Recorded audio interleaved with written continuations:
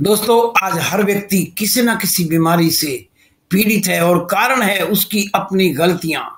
आज के वीडियो में हम पाँच ऐसी गलतियों के बारे में बात करेंगे, जिनके न करने पर हम अपने आप को स्वस्थ रख सकते हैं, बीमारियों से अपने आप को बचा सकते हैं।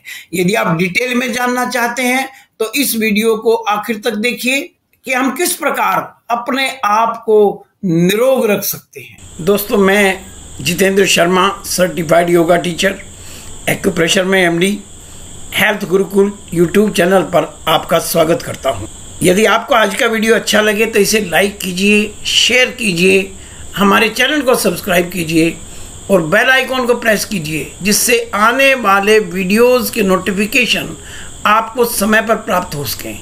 चलिए, आज का वीडियो शुरू करते हैं। दोस्तों, सबसे पहली और सबसे बड़ी जो गलत आदत है, वो है सुबह उठते ही खाली पेट चाय पीना। इससे हमें बहुत से नुकसान होते हैं। सबसे पहला नुकसान है कैफीन के कारण से यह पेट में एसिड की मात्रा को बढ़ा देती है, जिसके कारण से हमारे पेट में जलन होती है और ब्लोटिंग की समस्या का सामना भी करना पड़ता है हमें।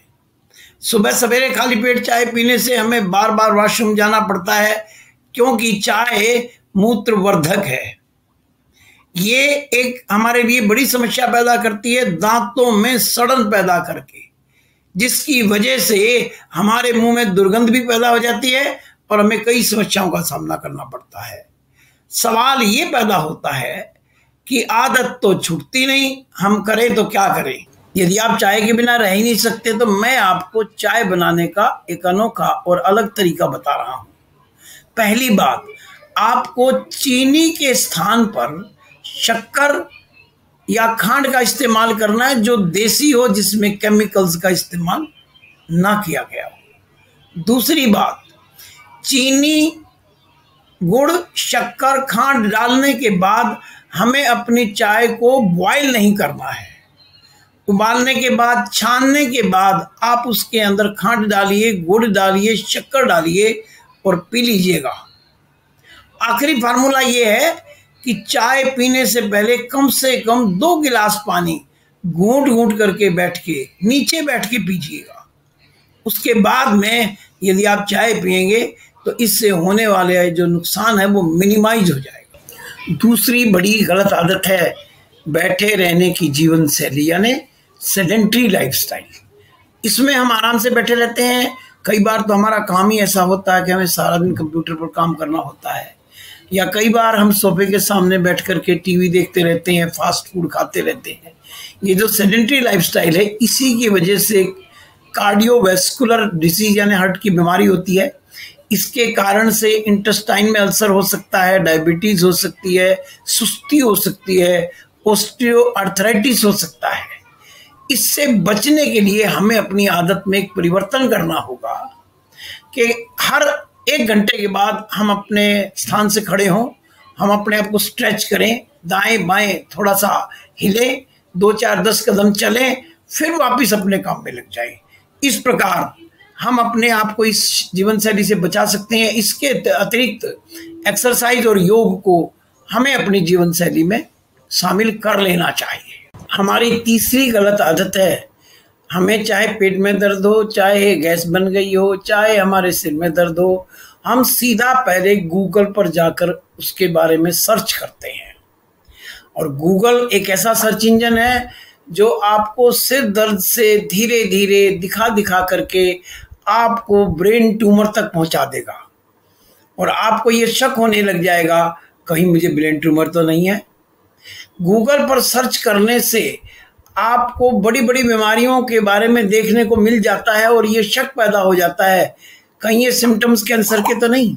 अपने को इस आदत से बचना है। यदि कोई प्रॉब्लम है तो हम प्रॉपर व्यक्ति से सलाह लें डॉक्टर से सलाह लें हेल्थ काउंसलर से सलाह लें कि इस स्थिति में मुझे क्या करना चाहिए। चौथी समस्या है अत्याधिक तनाव एक्सेसिव स्ट्रेस हर व्यक्ति, बच्चा है, बूढ़ा है, जवान है, हर व्यक्ति आज के दिन स्ट्रेस में रहता है, तनाव में रहता है। और यही तनाव कारण है डायबिटीज़ का यही कारण है हाई बीपी का यही कारण है कोलेस्ट्रोल का। तो ये जो स्ट्रेस है, ये हमें कई प्रकार की बीमारियाँ दे रहा है।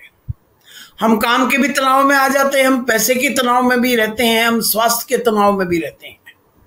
हमें इस तनाव से बचने के लिए मेंटल पीस प्राप्त करने के लिए कुछ ना कुछ ज़रूर करना चाहिए।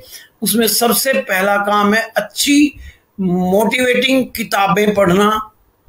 दूसरा, जो मोटिवेटर्स होते हैं, उनकी ट्रेनिंगें देखना या अटेंड करना। और तीसरा, एक सबसे अच्छा साधन है, बिना स्ट्रेस का जीवन जीने का, अपना परिवार के साथ क्वालिटी टाइम स्पेंड करना। छोटे बच्चों के साथ खेलना तनाव को एकदम दूर कर देता है।